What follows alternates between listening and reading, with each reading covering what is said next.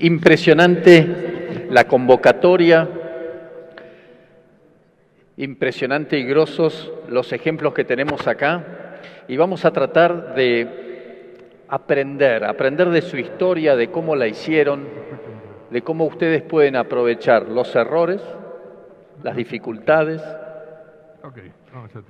para transmitirles a ellos cómo acortar el camino.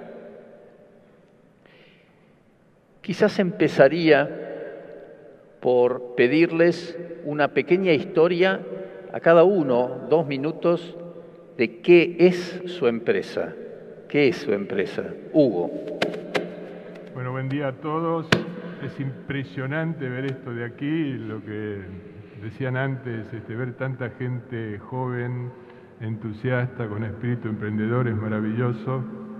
Pues yo trabajo en tres actividades. Una actividad que es la actividad química farmacéutica, donde lo que nosotros hacemos es eh, fabricar principios activos y productos terminados que exportamos a 120 países, 1.600 clientes, con empresas propias en 46 países, una actividad agroforestal en Argentina y una industria cultural con dos actividades, una productora de cine, eh, Kramer y Sigman, y una editorial Capital Intelectual.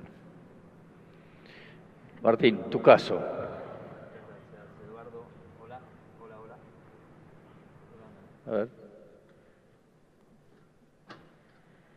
Hola, hola, hola. ahí, va. Gracias, Eduardo. Eh, estoy, como dijo Hugo, eh, como dijo Giver también, y, todos los que vienen atrás, estoy súper emocionado de estar aquí.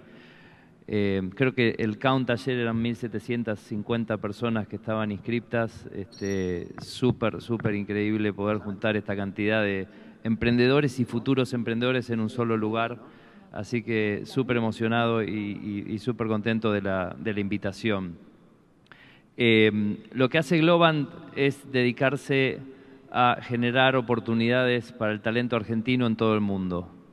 Nosotros creemos que desde Tucumán o desde Resistencia o desde Rosario o desde Córdoba o desde La Plata o desde cualquiera de las ciudades que nosotros estamos podemos generar oportunidades de clase mundial para crear los mejores productos de software y los mejores viajes digitales este, para las marcas más impresionantes, como pueden ser Google o LinkedIn o este, Electronic Arts, solamente para mencionar algunos. Este, en Globant la idea es siempre trabajar muchísimo en tecnología de consumidores este, y estamos detrás de algunos productos que seguramente algunos conocen, como por ejemplo, quienes, levante la mano acá, quienes juegan al FIFA. Bueno, unos cuantos. Este, estamos detrás de, esos productos, estamos detrás de, cosas como por ejemplo los nuevos celulares modulares que está sacando Google, que se llama Google Project Ara, se los recomiendo para aquellos que no lo vieron este, que, lo puedan, que lo puedan googlear, que son unos celulares que uno va a poder diseñar qué tienen adentro, ir poniendo los módulos, ir acomodando el celular a como uno lo necesite, o más batería, o más procesador, o una cámara mejor. Así que en definitiva es eso, Globan empezó en el 2002 como una idea, hace 14 años, en el 2003 la fundamos, este, y a lo largo de ese proceso logramos llevar a esta compañía de cuatro fundadores, como dijo Giver hoy, a más de 5.000 Glovers, como nos gusta llamarnos a nosotros, eh, y en el medio hemos logrado eh, tratar de ser los mejores en lo que queremos hacer, sacando nuestra compañía en el New York Stock Exchange y siendo la primera compañía de América Latina en el área de servicios profesionales que salió como una compañía pública eh, en la Bolsa de New York. Así que bueno, eso es un poco nuestra historia. Y... Cuando uno escucha semejante eh, objetivo, lo que han alcanzado, 5.000, 6.000 personas y esa, ese éxito, parece que difícil aprender o difícil usarlos como modelo cuando uno es chiquito y recién emprende y está haciendo desayunos.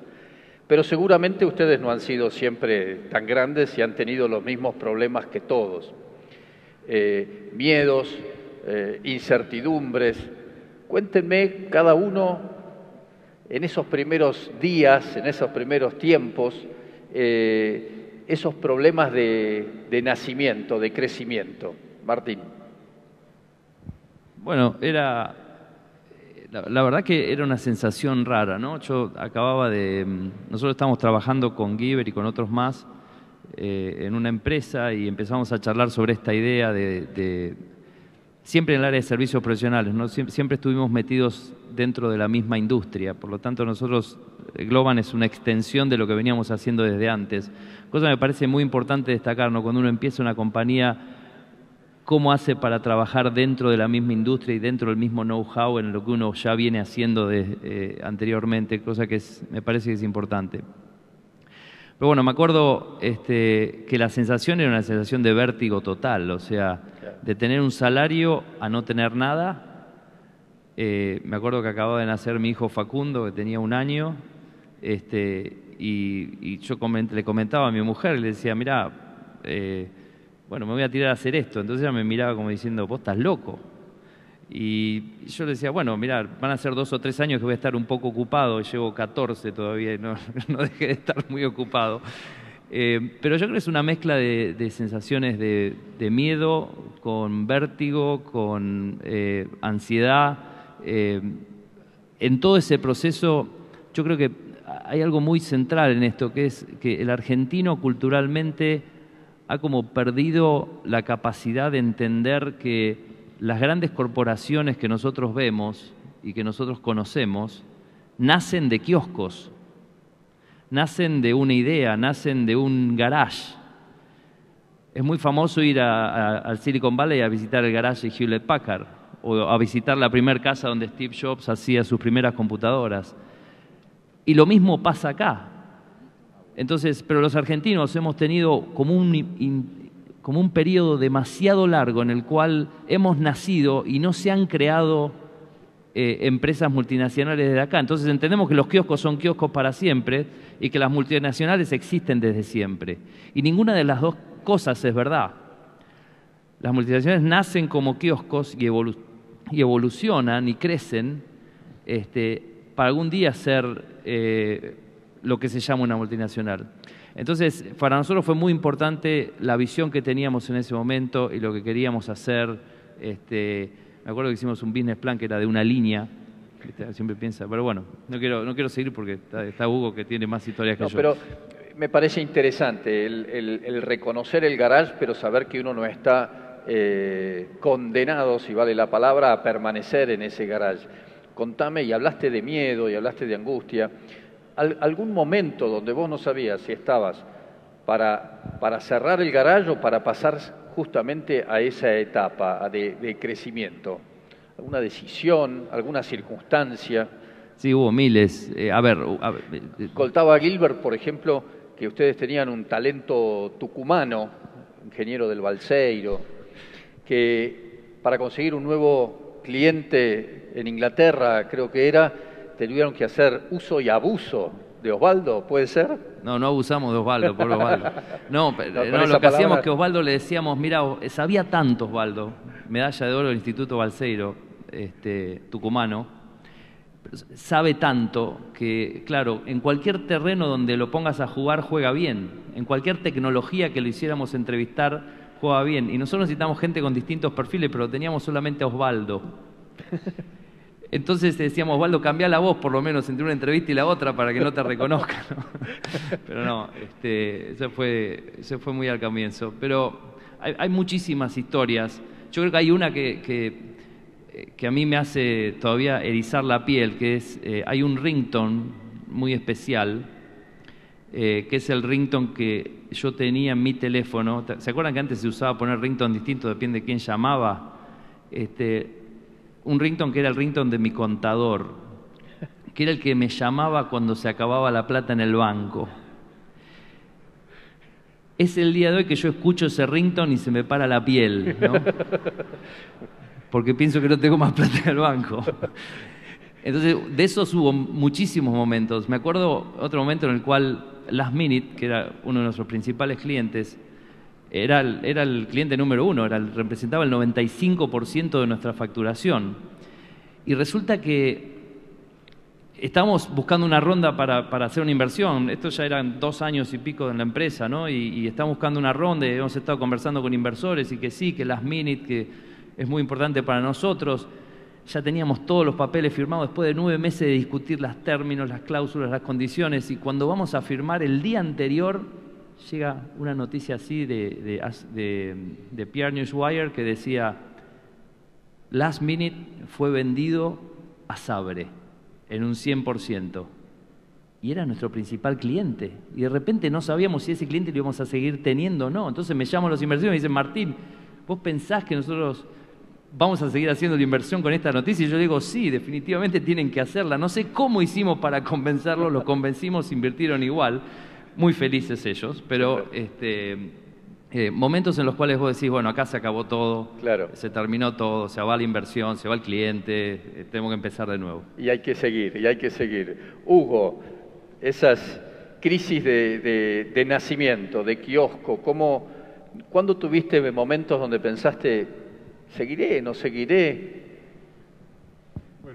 Lo, sentí desde que empecé. Vos sabés que yo soy médico, trabajé como psiquiatra eh, ocho años en el año 1976, en marzo, 24 de marzo, se produce el golpe de Estado en la Argentina.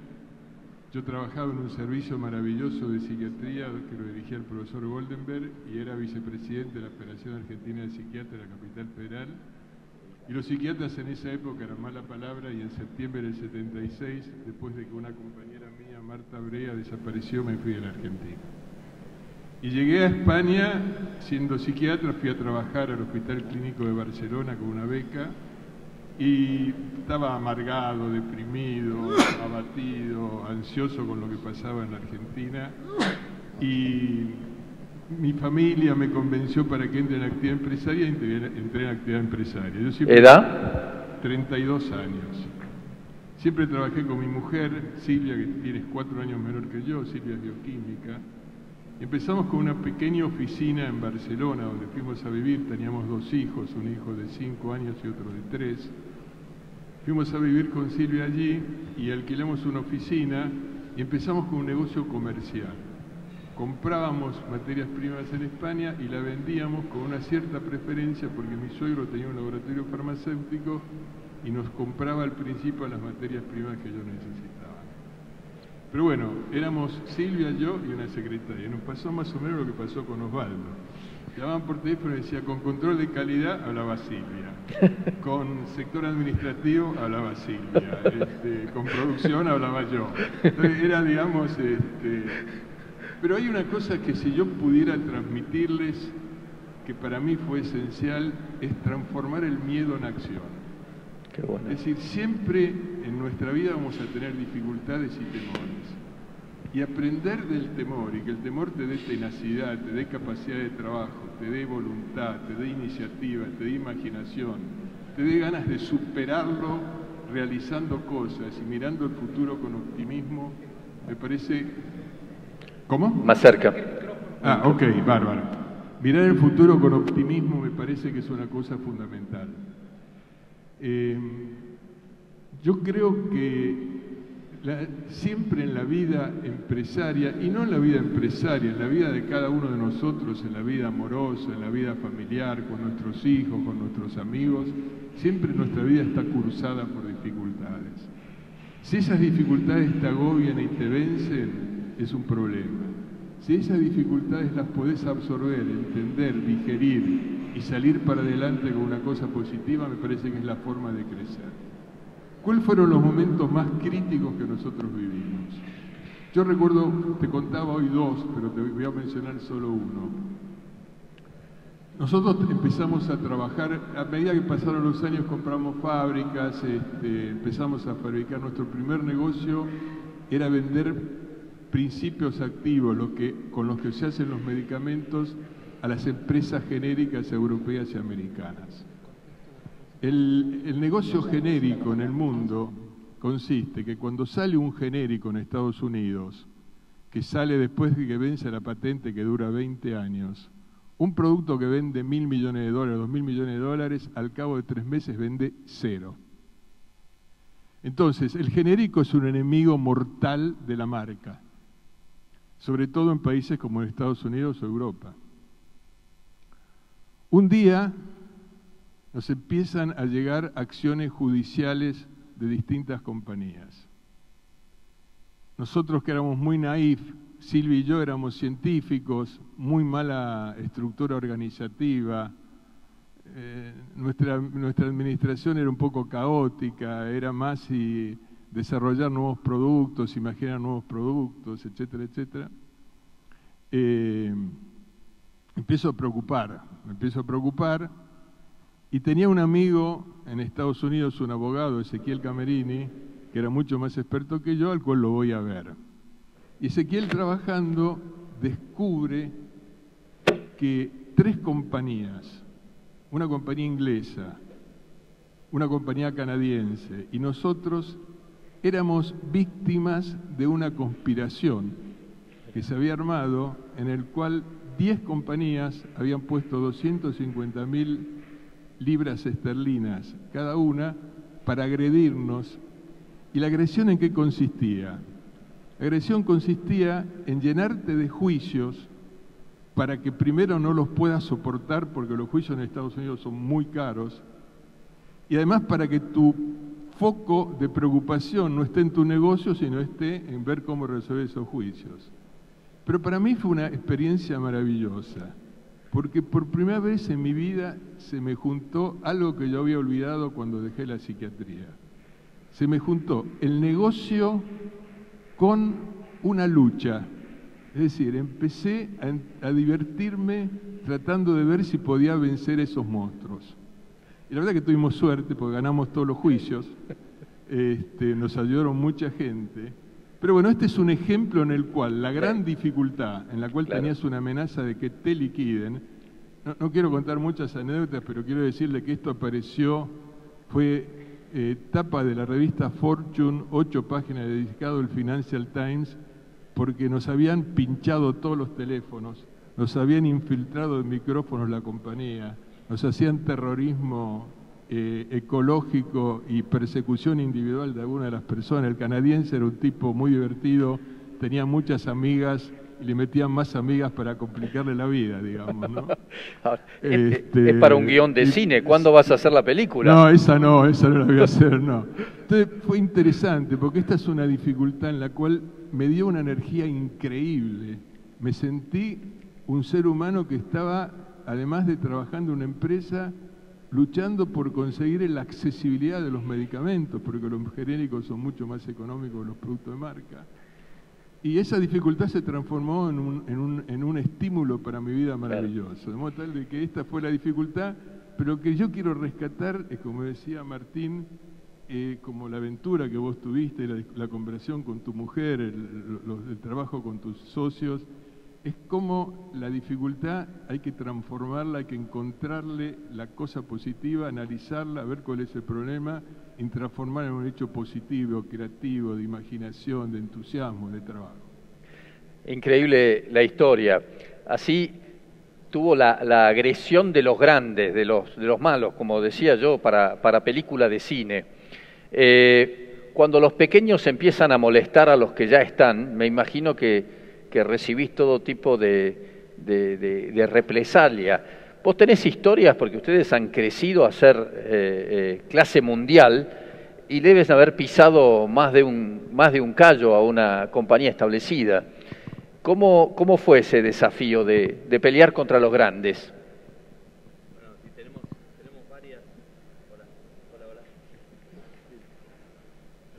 Tenemos, eh, tenemos varias, varias historias eh, alrededor de eso, ¿no? Eh, la última hace, hace algunos años cuando estábamos trabajando con una, con una empresa, una aerolínea muy importante, y, el, y el player que le vendía principalmente desarrollo de software a esa aerolínea, este, decidió que no quería que nosotros compitiéramos y nos hicieron cualquier tipo de barradosada. Me hace acordar a lo que, a lo que vos contabas con, en el caso tuyo, Hugo. Este, pero siempre existen esas situaciones. La verdad que yo rescato mucho de lo que dice Hugo, es, es cuando a uno le aparece un problema, que es todos los días, porque no es que aparece un problema de vez en cuando, todos los días aparece uno distinto, hay dos posibles reacciones. O te acobardás y te tirás y te vas a tu casa, o tratás de transformarlo en una oportunidad. Y hay gente que tiene un talento muy, muy específico para poder transformar esas, esos, eh, esos riesgos en oportunidad. Entonces yo creo que, mm, bueno, a lo largo de la historia de Globan ha habido este, muchísimos casos eh, en los cuales esos riesgos, o riesgos por, perder gente, o riesgos por este, perder clientes. Me acuerdo que una vez este, habíamos ganado Google, ¿no? Nosotros fuimos la primera compañía que desarrolló software para Google afuera del Google Plex en Mountain View, California. Y habíamos ganado Google y Google este, nos hizo crecer muchísimo. Saltamos y, de nuevo Google no era más las minutes, pero ahora Google representaba 80% de nuestra facturación. Y un día se levantan eh, Sergey y Larry eh, en la crisis del 2008 eh, y deciden que no iban a trabajar más con ningún tipo de ayuda externa. Entonces nuestra facturación ahí pasó de ser, este, eh, me acuerdo que era como, no sé, como un millón de dólares a nada, a 100 mil este, en un año. Y, todo eso pasó en tres meses. Pero ese, ese, ese, gran, ese, ese gran torpedo que fue el hecho de que Google nos dijera, it's over, hoy cumplimos 10, eh, ahora en mayo cumplimos 10 años con Google, no quiere decir que la relación se terminó, tuvo una pausita ahí, pero seguimos y hoy seguimos creciendo, pero ese, ese torpedo que fue el impacto de, que Google caiga, renovó las fuerzas para crecer el resto de las cuentas. Decía, bueno, ok, este es el nuevo escenario, ¿cómo hacemos para crecer con el resto de las cuentas? Y lo increíble fue que perdiendo nuestro principal cliente, claro que representaba el 80% de la facturación, Globan ese año creció un 15 o un 20% con respecto al año anterior, que fue entre el 2008 y el 2009. Pero eso lo hace un equipo, y acá es donde yo quiero rescatar el otro tema. No existe un líder visionario que es el que resuelve las cosas, existe una cultura alrededor de eso. Cuando uno es un emprendedor y decide voy a hacer un emprendimiento, problemas van a llover si la cultura de tu compañía o de lo que vos estás creando no está adecuada a que vos puedas transformar esas, esas grandes amenazas en oportunidades, entonces es una compañía mucho más débil. Yo creo que las compañías fuertes, las compañías que logran crecer, son aquellas que por cultura, por diseño, son capaces de tomar esas, esas amenazas y convertirlas en oportunidades.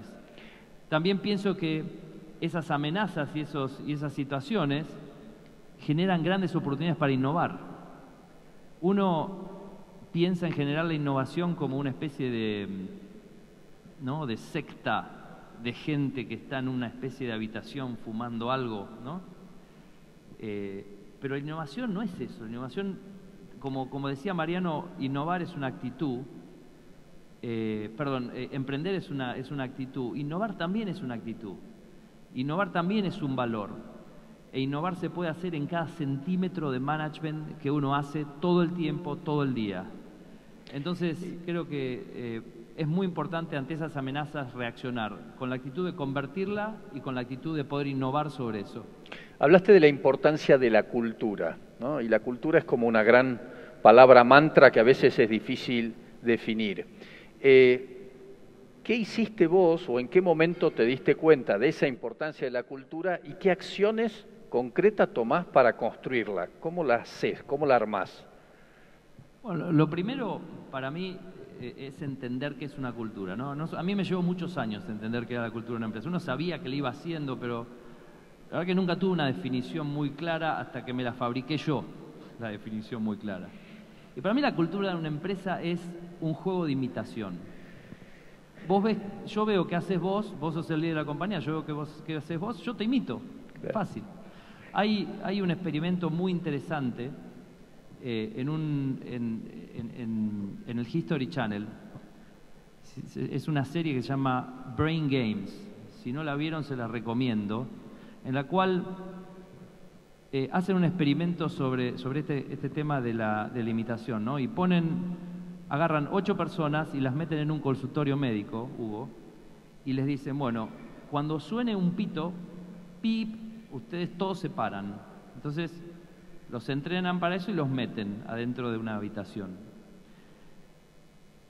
Entra una persona externa que no había sido entrenada, suena el pito, las ocho personas se paran y la persona se queda sentadita y mira. En el segundo pito vuelve a sonar el pito, pip, todos se paran, la señora se vuelve a quedar sentada, pero ya mira diciendo, epa, ¿qué pasa? Me estoy perdiendo algo acá. En el tercer pito, pip, la señora también se para. Las ocho personas esas pasan al consultorio, se van. Cuando llega eh, el turno de sonar el pito y la, señora esta estaba sola, pip, la señora se para, a pesar de que estaba sola. Y después entran dos o tres personas más, quienes se vuelven a parar cuando sonaba el pito. ¿Qué pasa? Lo que pasa ahí es que los seres humanos somos personas que imitamos conductas y esas conductas que imitamos son las conductas que vemos que pasan alrededor nuestro. Y eso es la cultura de una compañía. La cultura de la compañía es, una, es un set de señales, ¿no? Perdón, un set de reacciones que se producen ante ciertas señales. Yo, suena un teléfono y yo atiendo rápido. O me viene a ver un cliente y le hablo de cierta manera o tengo que responder una cotización y le respondo en una hora en vez de en dos días, o eh, tengo que hablar con un empleado y, lo hago de cierta manera. Entonces, para mí la cultura es una cultura de imitación, por eso es tan importante el crecimiento orgánico de esa cultura dentro de las compañías. Pero no termina ahí, sino que la, cultura tiene que ser algo simple, basado en valores muy, muy cristalinos y muy fáciles de imitar. Por ejemplo, en Globa nosotros decimos, imita, eh, innova siempre, este, actuar éticamente, eh, jugar en equipo, pensar en grande, divertirse, para nosotros son cosas que hacemos todo el tiempo. Entonces, para nosotros contagiar, tenemos que tener un set de reglas simples y eso hacer que todo el mundo la entienda y que todo el mundo este, la, pueda, la pueda propagar. La importancia de, de identificar y fomentar con el ejemplo esos comportamientos, esos valores, eh, es fundamental en el, en el éxito o no de la compañía. Una de las primeras definiciones que yo escuché de cultura eh, me la dio Herb Kelleher, que es el fundador de Southwest Airlines, la línea aérea más grande del mundo y, con una cultura más fuerte. Y me decía, yo usaría la misma definición para cultura que para pornografía.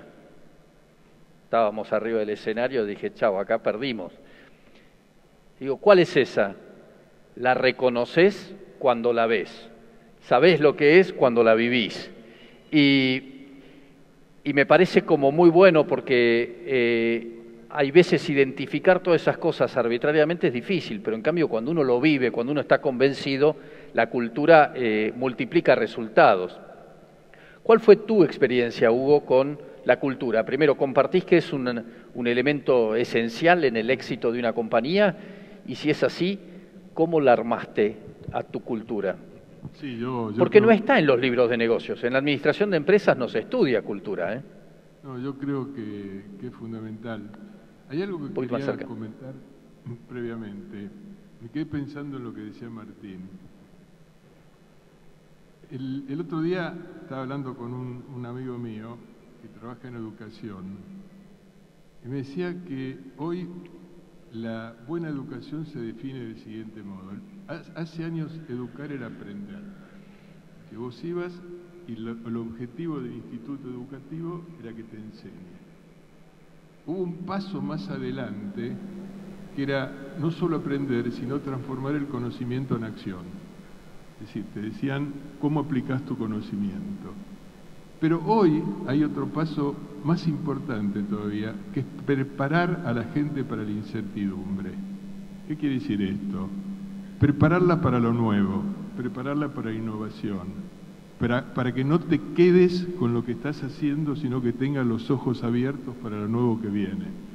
Esto que comentábamos, de transformar las dificultades en, un, un nuevo asset que vos tengas, me parece que en general, si nuestro sistema educativo y nuestras empresas están preparadas para la incertidumbre, además del conocimiento que tenemos, va a ser un paso importante adelante para el desarrollo de nuestras compañías.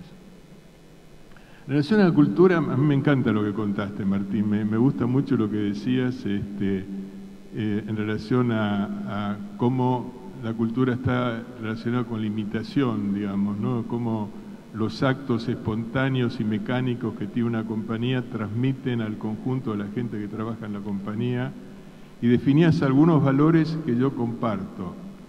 Diría lo siguiente, algunas cosas, eh, además de las que dijo Martín, de las cuales yo creo que sintetiza muy bien todo lo que pienso. Hay algo que para nosotros fue muy importante, que es ser y parecer tiene que ser lo mismo. Hay compañías en las cuales vos decís, hay que ser de un modo y la gente que trabaja con vos se da cuenta que vos sos distinto. Eso pasa en la vida con tus hijos. Digamos, tus hijos es el espejo más cruel que tenés de tu vida. Si vos le decís tenés que ser de un modo y vos sos de otro modo, es dramático, digamos, ¿no? Entonces, me parece que ser y parecer tiene que ser muy importante. El segundo tema que para mí siempre fue muy importante es un programa de reinversión permanente. Es decir, las empresas en las cuales te encontrás con empresarios ricos y empresas pobres tienen un destino trágico. Yo creo que está bien que el empresario quiera vivir bien, pero es indispensable que la reinversión sea fundamental.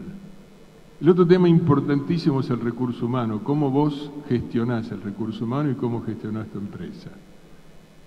Nosotros siempre hemos trabajado con un concepto en el cual evaluábamos por resultados, no por el control diario de la acción de cada uno. Y una delegación muy importante de responsabilidades. Cuando nuestro caso hoy es inevitable hacerlo así, teniendo, no sé, debemos tener en el mundo, no sé, 70, 80 compañías, es difícil no, no delegar por responsabilidades. Pero siempre fue así.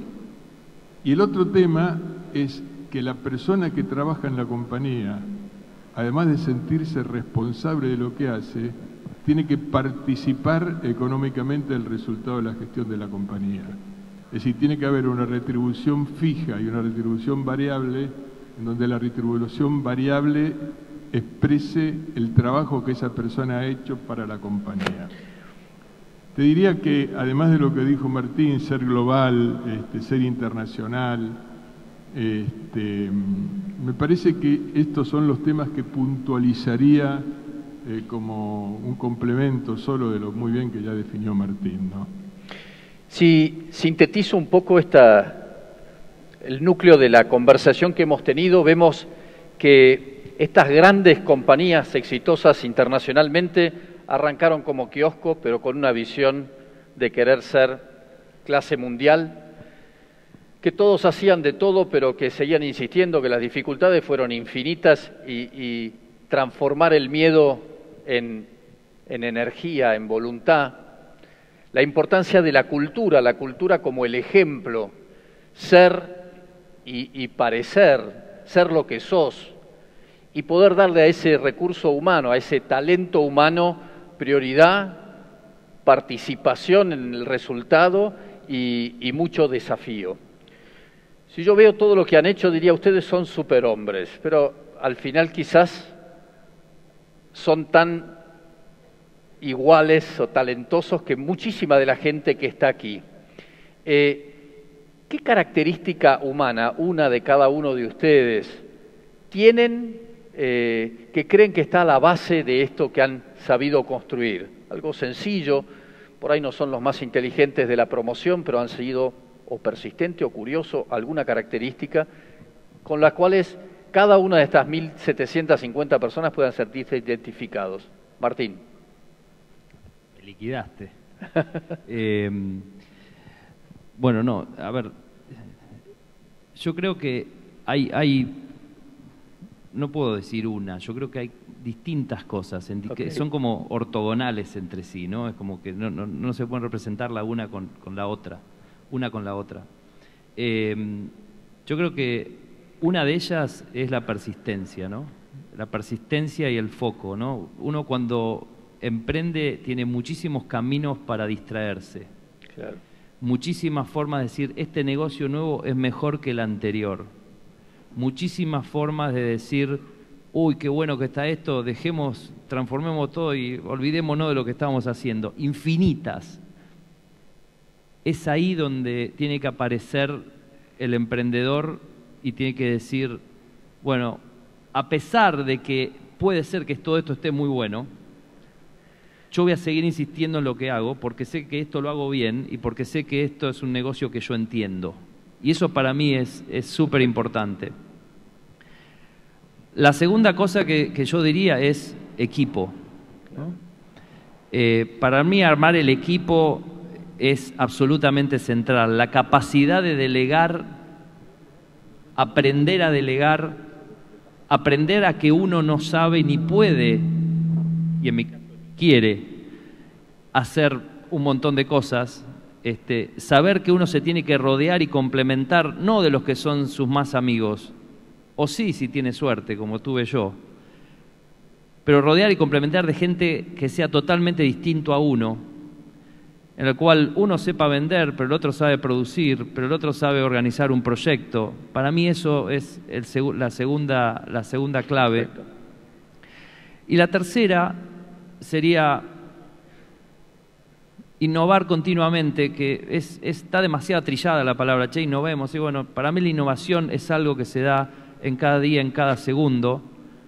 Este, innovemos también en la forma en la que pensamos nuestra compañía. Cuando vos pensás una compañía, para mí el secreto nuestro fue decir, cuesta lo mismo pensar en chico que en grande exige, la misma cantidad de, processing power acá arriba, de capacidad de, de procesamiento, pero los resultados son totalmente distintos. Cuando uno empieza a pensar en grande, empezás a tomar decisiones que están asociadas con esa forma de pensamiento y que están disociadas de pensar en chico. Y déjame darte un ejemplo con esto, no quiero dejarlo en lo teórico, quiero ir a un ejemplo práctico. Cuando vos estás pensando en armar una compañía en el largo plazo y estás pensando en grande y estás diciendo quiero ser global desde la Argentina, a lo cual invito a las 1.700 personas que están acá a desafiar eso, se puede ser global desde la Argentina, se pueden hacer cosas desde la Argentina. Hoy el mercado está totalmente globalizado, el acceso a la información es totalmente eh, plana, se pueden hacer cosas globales, pero cuando uno piensa en forma global, empieza a tomar decisiones que están asociadas con eso. Entonces doy ejemplos. El emprendedor que piensa en chico y que está y que tiene su lifestyle business, lo que hace es, como decía Hugo recién, agarra y todos los años se lleva lo que la compañía produce. Y se lo lleva para su bolsillo. Paga el country, su, método de vida, sus escuelas privadas, etcétera. El emprendedor que está pensando en grande jamás sacaría esa plata, sino que la revolvería a reinvertir una y otra vez en su propio negocio. ¿En qué? En management, en armar equipos, en armar procesos, en escalar, en entender mejor mi mercado, en ir a visitar mercados afuera, en decir, no me quedo acá en Tucumán o en Buenos Aires o en la Argentina, me voy a Miami, me voy a Europa, me voy a donde sea. Este, entonces, yo creo, yo, sintetizaría eh, las habilidades como esas tres, eh, tener foco, poder armar equipos y pensar en grande y poder pensar globalmente, lo cual también está asociado con elegir mercados que sean realmente masivos. Yo creo que Hugo, cuando empezó su empresa, eligió un mercado masivo, que era el mercado de la salud y la, y la producción de genéricos, de la misma manera que nosotros elegimos un mercado masivo, que es la producción de tecnología y de software a nivel global eh, en un área que está realmente explotando. Entonces, nosotros como emprendedores tenemos la misión de decir, voy a elegir el mercado que sea más grande posible para mi potencial empresa. Perdón, me Espectacular. Hugo. Mira, varias cosas.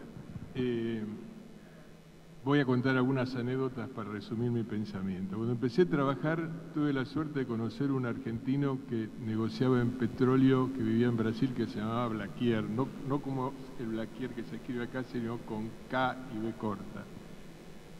Entonces el tipo me dijo una sola cosa, me dijo, mira Hugo, yo compro y vendo petróleo. La única diferencia entre lo que hago yo y lo que hace un kiosquero es que el kiosquero vende golosinas y yo vendo petróleo. Más cerca del micrófono. Lo que yo hago es que el kiosquero vende golosinas, él compra y vende y yo compro y vendo petróleo. Es, decir, es el producto.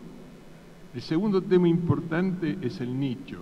Claro. Es decir, el segundo tema importante es cómo te encontrás algo que te diferencia de los demás. El empresario tiene dos funciones. O tiene la capacidad de hacer algo que el otro no hace, o la capacidad de hacer algo mejor de lo que el otro está haciendo. Entonces, una es el nicho y la otra, que si vas a productos masivos tenés que tener una gran eficiencia productiva. Yo aprendí muchísimo, en una época nosotros teníamos todo el negocio de golosinas, vendíamos los chicles Adam, los caramelos Halls, los chicles Bubalú, y vos tenías que aprender a ganar dinero vendiendo algo que valía un centavo, que era lo que valía un caramelo. Entonces, en ese sector la eficiencia productiva es muy importante. El tercer tema que yo, digamos, trato de metérmelo para mí mismo y lo trato de transmitir a todos, es que todos nacemos desnudos y morimos desnudos. Sí, sí, tenés que hacer... todos nacemos desnudos y morimos... Mucha diferencia entre todos nosotros no hay, prácticamente no hay ninguna. Eso significa que tenés que ubicarte en que ser un tipo modesto, tenés que ubicarte en que somos todos muy iguales y muy parecidos y que la vida te dio la fortuna de tener más suerte que otros que muchas veces son más capaces y más trabajadores que vos. Y la última cosa que diría es, yo tengo dos últimas cosas. Tengo un, hijo que es físico, que hace neurociencia, que acaba de escribir un libro que se llama La vida secreta de la mente. Y cuenta en una parte de su libro que no es cierto que uno a la edad adulta no pueda aprender un idioma como la puede aprender un chico chiquito cuando aprende su idioma. Pero para hacer eso lo que necesitas es trabajar mucho. Es decir, el trabajar intensamente es otro valor. Y finalmente vos sabés que yo produje Relatos Salvajes, la, producta, la película más exitosa de la historia del cine argentino. Y cuando la produje, la cosa más importante que tiene Relatos Salvajes es que trata sobre el descontrol de los seres humanos, sobre la locura de los seres humanos. Y para esto hay que ser un poco loco, es decir, hay que, no, hay que romper las normas, hay que romper los códigos, hay que volver de la locura, pero hay que ir a la locura.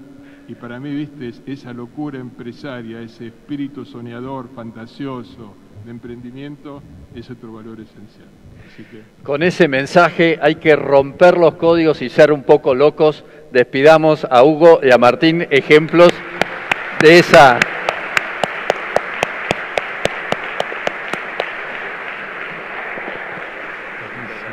Buenísimo.